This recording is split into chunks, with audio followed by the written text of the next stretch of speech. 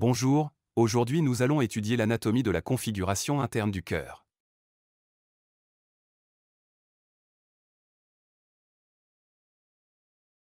Pour cela nous allons aborder d'abord la cloison interventriculaire,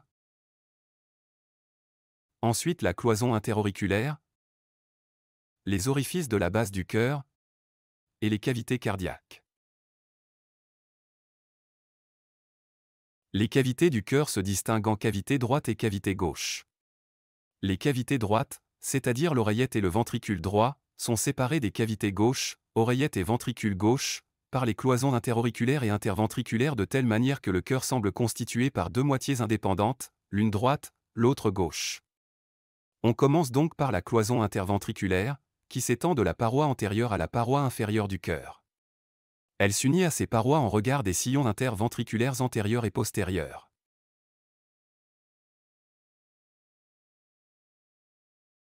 On s'attaquera premièrement à son orientation, ensuite sa structure.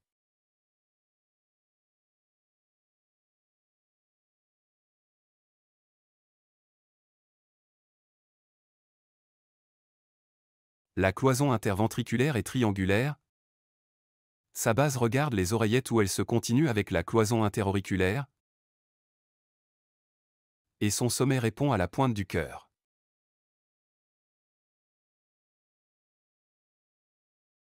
Sa face droite qui appartient au ventricule droit, est convexe, elle regarde en avant, à droite et en haut. Elle laisse à sa droite l'orifice auriculo-ventriculaire droit et celui de l'artère pulmonaire.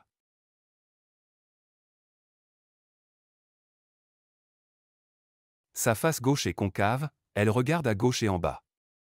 Elle laisse à sa gauche l'orifice auriculo-ventriculaire gauche et l'orifice aortique. La cloison interventriculaire finit en arrière selon une ligne très sinueuse.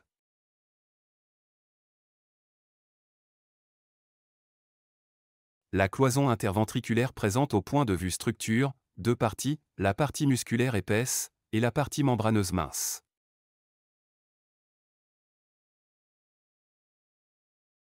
La partie musculaire comprend presque toute la cloison et s'étend en diminuant d'épaisseur, depuis le sommet jusqu'à la base. Son épaisseur moyenne est de l'ordre de 1 cm. Elle donne naissance à droite au pilier de la valvule médiale de la valve tricuspide.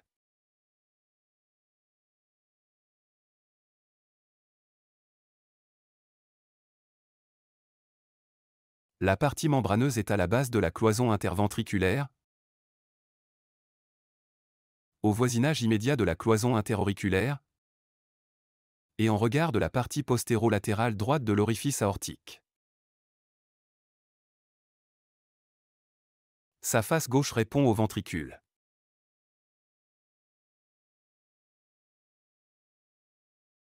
Et sa face droite donne insertion à la valvule médiale de la valve tricuspide. En avant de cette valvule, la cloison est interventriculaire, en arrière d'elle, elle est interauriculo-ventriculaire, séparant la partie antérieure de l'oreillette droite du ventricule gauche. Dans l'épaisseur de la cloison interventriculaire chemine le tronc du faisceau de HIS. La cloison interauriculaire est une membrane mince qui sépare l'une de l'autre les deux oreillettes. Elle paraît se continuer en avant avec la cloison interventriculaire. La jonction de ces deux cloisons forme le X cardiaque, centré sur le septum atrioventriculaire. Par le reste de son pourtour, elle s'unit à la paroi des oreillettes en regard du sillon interauriculaire. La cloison interauriculaire est orientée, de même que la cloison interventriculaire, suivant un plan oblique tel que l'une de ses faces regarde, à droite, l'autre regarde à gauche.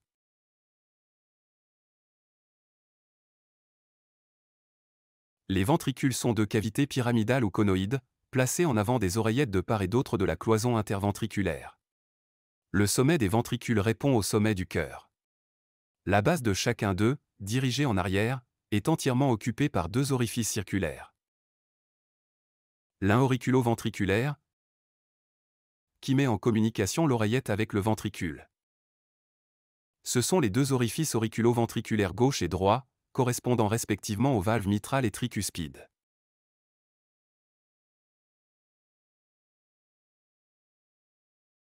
L'autre artériel, plus petit, fait communiquer le ventricule gauche avec l'aorte par le biais de la valve aortique.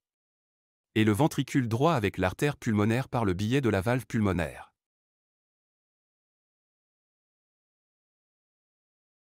La maîtrise de la projection des orifices de la base du cœur sur la paroi thoracique antérieure est d'une importance capitale dans la pratique de l'auscultation cardiaque.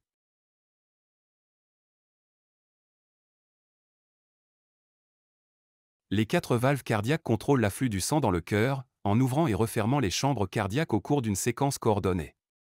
Les deux valves situées entre les oreillettes et les ventricules portent le nom de valves tricuspides et mitrales. Ces valves dirigent le flux du sang lorsqu'il s'évade des oreillettes vers les ventricules. Les deux autres valves sont les valves semi-lunaires, aortiques et pulmonaires. Ces valves empêchent le reflux du sang dans le segment qu'il vient juste de quitter. On commence par les orifices auriculo-ventriculaires. Chacun d'eux est muni d'un appareil valvulaire appelé valve auriculo-ventriculaire. Ces valves ont la forme d'un entonnoir membraneux, fixé par sa base au bord de l'orifice auriculo-ventriculaire, et saillant dans la cavité ventriculaire. Elles sont découpées en plusieurs valvules par de profondes incisures. Chaque valvule présente une face axiale lisse, regardant l'oreillette. Une face pariétale, qui est rendue inégale par les insertions des cordages tendineux,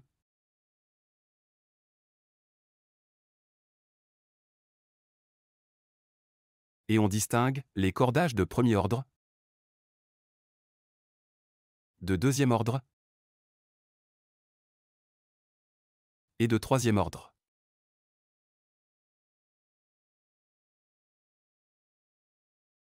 Chaque valvule présente également un bord adhérent, uni au pourtour de l'orifice auriculo-ventriculaire, et un bord libre dentelé.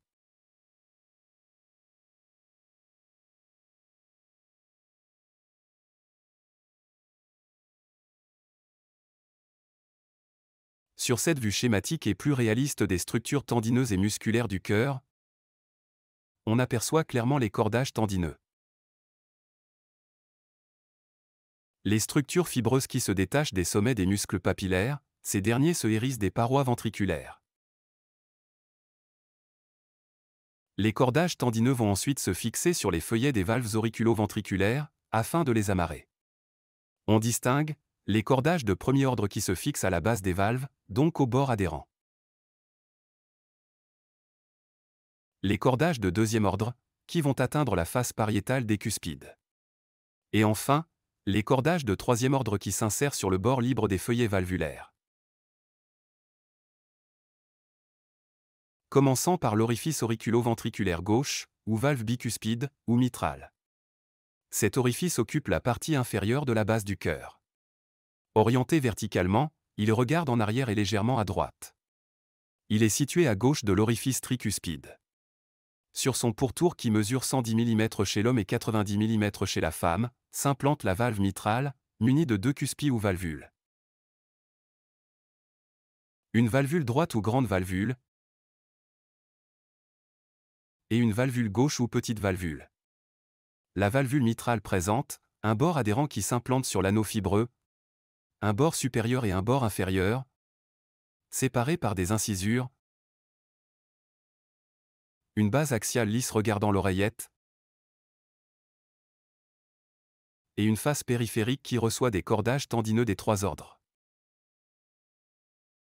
À la valve mitrale sont annexés les piliers du ventricule gauche. Les cordages tendineux du pilier antérieur vont à la moitié supérieure des deux valvules. Les cordages tendineux du pilier postérieur vont à la moitié inférieure des deux valvules. Sur cette vidéo d'animation tridimensionnelle, on voit se mouvoir l'appareil valvulaire mitral avec un bord adhérent fixé à l'anneau fibreux, deux cuspides quadrilatères droite et gauche.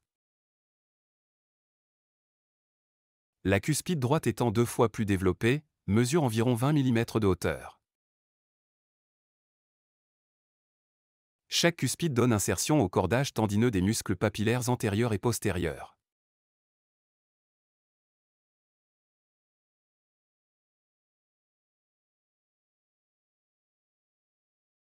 Les cordages évitent les versions des valves pendant la contraction ventriculaire.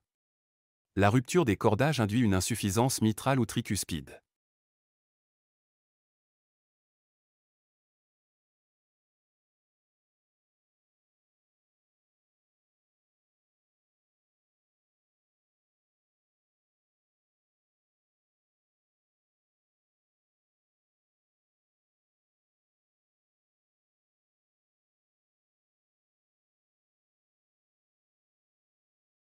On passe ensuite à la valve auriculo-ventriculaire droite, ou valve tricuspide. C'est un appareil valvulaire qui occupe la partie inférieure de la base du ventricule droit. Il fait communiquer ce dernier avec l'oreillette droite. Elle est placée dans un plan vertical, regardant en arrière et à droite. Sa circonférence est de 120 mm chez l'homme et de 105 mm chez la femme. La valve tricuspide est divisée par trois incisures en trois cuspies ou valvules triangulaires, septale,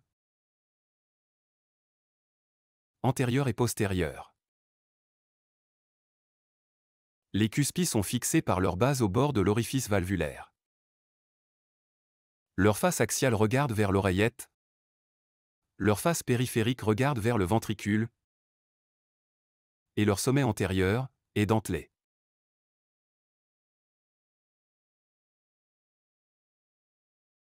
À ces valvules sont annexés les piliers du ventricule droit.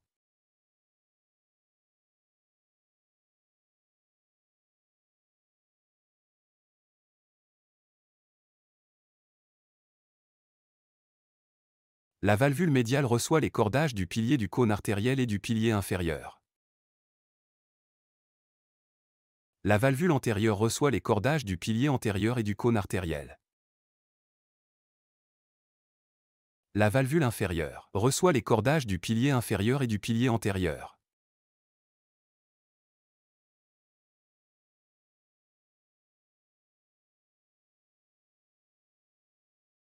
Cette infographie en 3D nous permet de visualiser l'ensemble de l'appareil valvulaire tricuspide. Présentant à peu près les mêmes particularités que son homologue gauche, à savoir un bord adhérent qui se lie étroitement à l'anneau fibreux. Pas deux, mais trois valvules que sont la valvule médiale, antérieure et postérieure. Encore une fois, les cordages tendineux qui fixent la valve tricuspide et la faisant lier aux muscles papillaires qui en dictent les mouvements.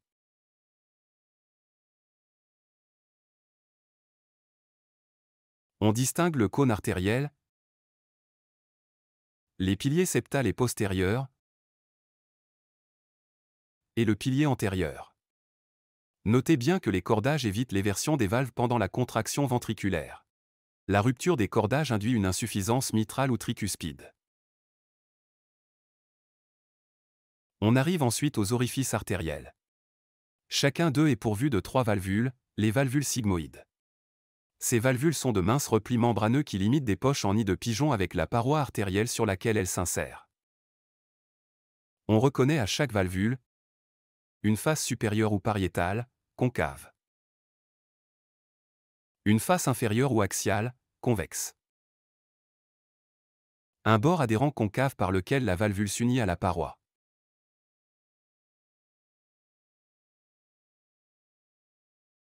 Et un bord libre horizontal.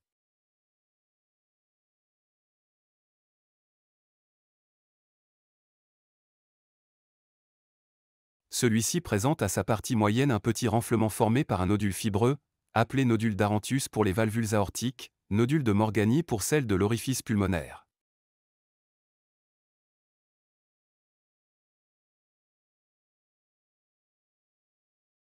Il n'existe pas de cordage tendineux pour les valvules sigmoïdes.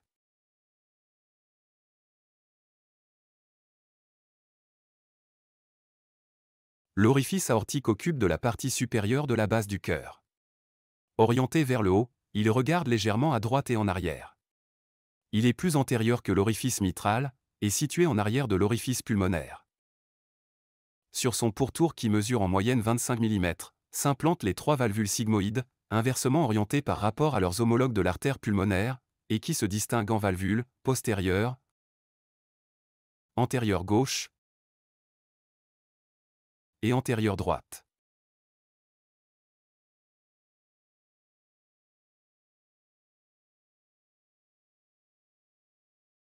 La calcification des feuillets de la valve aortique empêche son ouverture complète et provoque un blocage de la circulation sanguine normale en provenance du cœur. On parle alors de sténose aortique.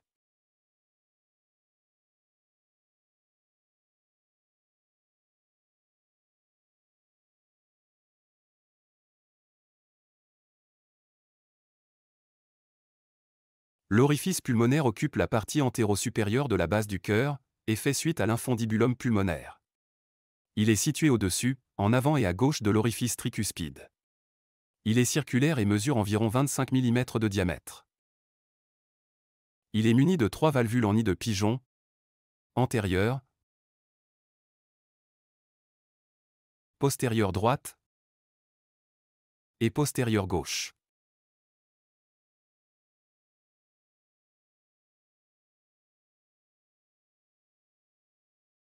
Les valvules sigmoïdes présentent à décrire une face supérieure concave. Une face inférieure convexe. Un bord adhérent concave. Un bord libre présentant à sa partie moyenne un petit nodule, le nodule de Morgani.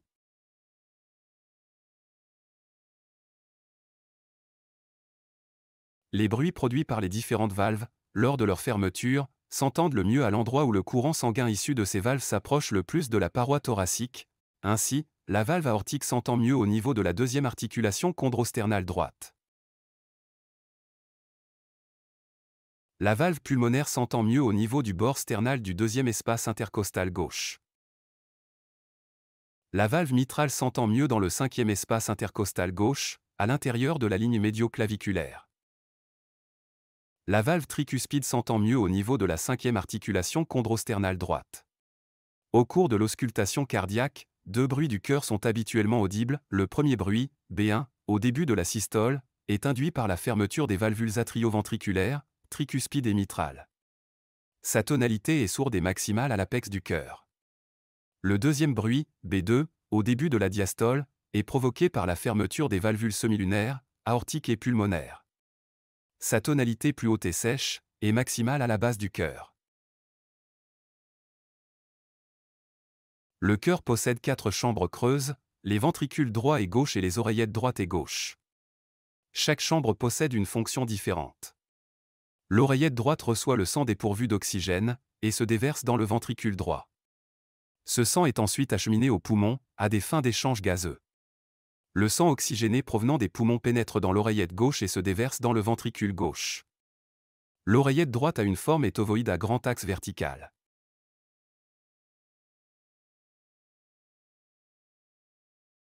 La paroi latérale présente quelques fines colonnes de troisième ordre. En avant d'elle se voit l'orifice de l'auricule droite. Celle-ci est une cavité dont les parois sont soulevées par de nombreuses colonnes charnues du deuxième et troisième ordre.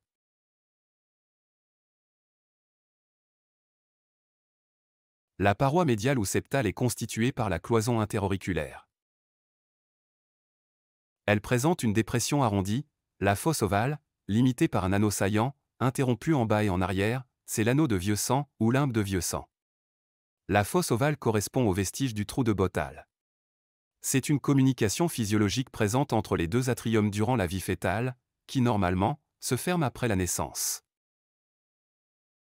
La paroi supérieure présente l'orifice avalvulaire de la veine cave supérieure. Il est circulaire avec un diamètre de 2 cm environ.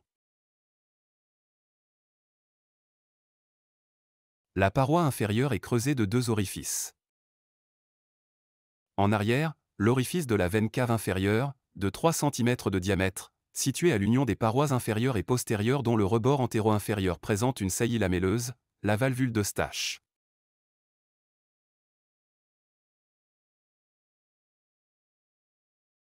En avant et médialement, l'orifice du sinus coronaire, a un diamètre de 12 mm, et est limité en avant et en bas par un mince repli appelé valvule de Tébésius. La paroi postérieure, lisse, elle présente entre les orifices des deux veines caves, une saillie transversale connue sous le nom du tubercule de Lower.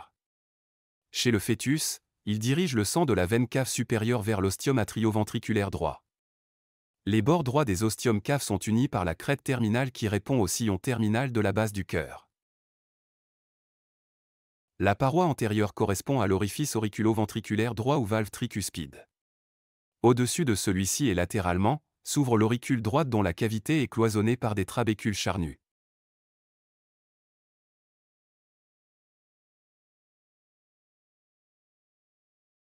L'oreillette gauche est également ovoïde à grand axe transversal. Sa paroi latérale est lisse, elle présente, en avant, à l'union avec la paroi antérieure, l'orifice de l'auricule gauche. La paroi médiale est formée par la cloison interauriculaire. Assez souvent, on y voit une saillie qui répond à la fosse ovale de l'oreillette droite, il s'agit du fundus de la fosse ovale. Il est limité en avant par un croissant membraneux, le repli semilunaire.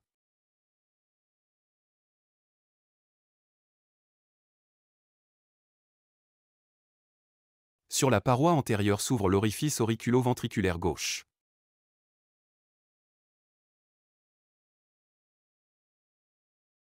La paroi postérieure est percée des quatre ostiomes arrondis des veines pulmonaires.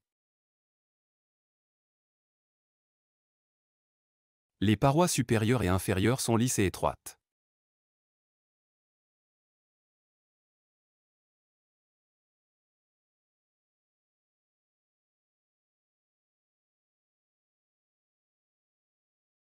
Le ventricule droit a la forme d'une pyramide triangulaire présentant trois parois, une base et un sommet.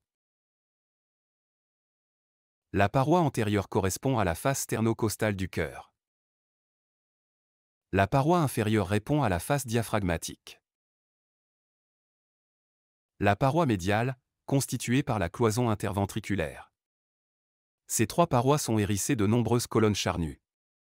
Parmi les colonnes charnues de deuxième ordre, on distingue la bandelette ensiforme, ou la trabécule septo-marginale, qui s'étend de la paroi antérieure à la paroi médiale, en décrivant une courbe à concavité dirigée vers la base du ventricule. La base porte l'orifice auriculo-ventriculaire droit et l'orifice de l'artère pulmonaire. L'orifice auriculo-ventriculaire droit présente la valve tricuspide, qui possède trois valvules, septale, antérieure, et postérieure. Ces valvules répondent chacune à l'une des parois de la cavité ventriculaire. L'orifice de l'artère pulmonaire situé en avant de l'orifice auriculo-ventriculaire droit est muni de trois valvules sigmoïdes. L'une est antérieure, les deux autres sont postérieures, une à droite et l'autre à gauche. La cavité ventriculaire droite se prolonge en haut et à gauche sous la forme d'un entonnoir, dont le segment tronqué répond à l'orifice pulmonaire. Ce prolongement appelé un fondibulum présente sur la paroi médiale la limite qui le sépare du reste de la cavité ventriculaire, une saillie arrondie appelée éperon de Wolf.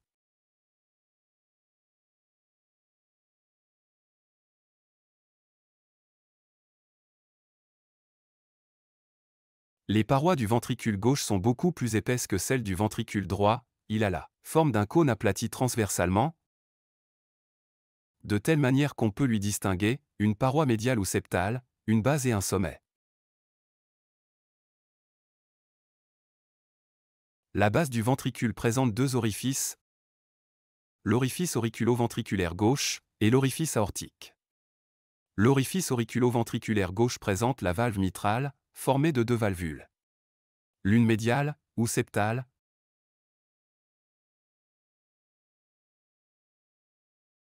l'autre latérale. Sur les faces pariétales des deux valvules, se terminent des cordages tendineux des deux colonnes charnues de premier ordre, qui naissent dans les ongles formés en avant et en arrière, par la réunion des faces collatérales et septales.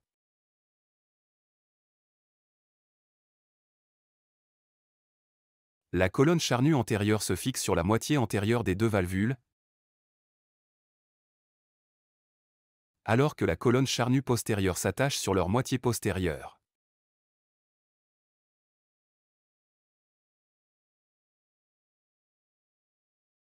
L'orifice aortique est situé en avant et à droite de l'orifice auriculo-ventriculaire gauche, en arrière de l'orifice pulmonaire.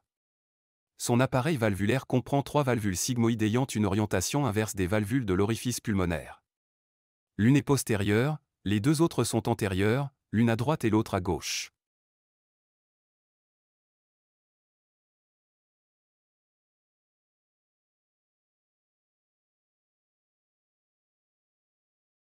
La valvule septale de l'orifice mitral, les piliers musculaires, les cordages tendineux forment une cloison qui divise le ventricule gauche en deux parties.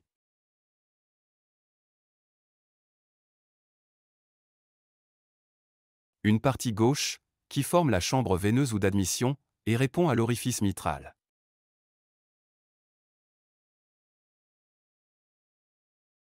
Et une partie droite, qui forme la chambre artérielle ou de chasse. Celle-ci se prolonge par un cône, qui aboutit à l'orifice aortique.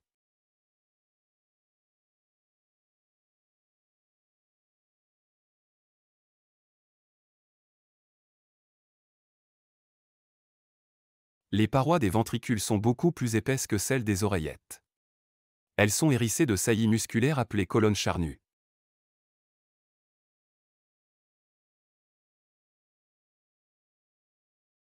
Les colonnes charnues sont de trois ordres. Les colonnes charnues de premier ordre, appelées encore piliers du cœur ou muscles papillaires. De forme conique, ils sont unis par leur base à la paroi ventriculaire.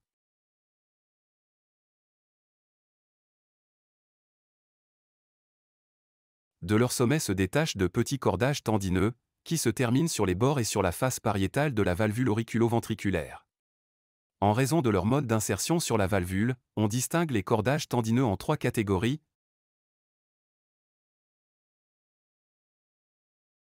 Les cordages tendineux de premier ordre.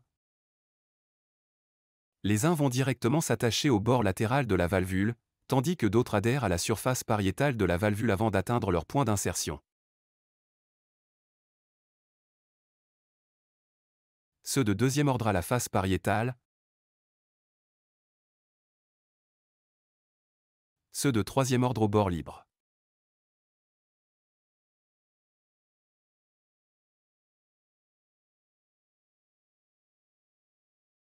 Les colonnes charnues de deuxième ordre sont unies à la paroi ventriculaire par leurs deux extrémités, et libres dans le reste de leur étendue.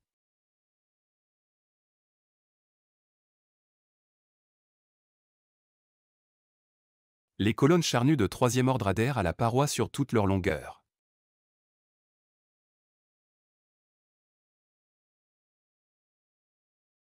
Notez bien, le débit cardiaque se traduit par le volume de sang éjecté toutes les minutes par le ventricule.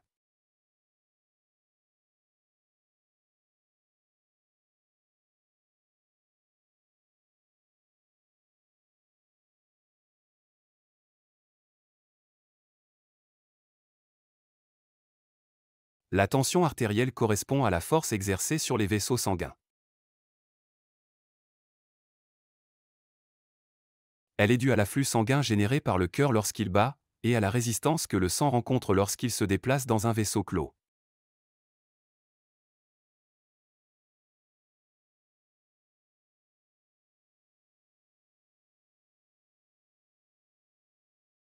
La tension artérielle sert à évaluer la fonction cardiovasculaire normale. La pression systolique moyenne est de 120 mm de mercure. La pression diastolique moyenne est de 70 à 80 mm de mercure.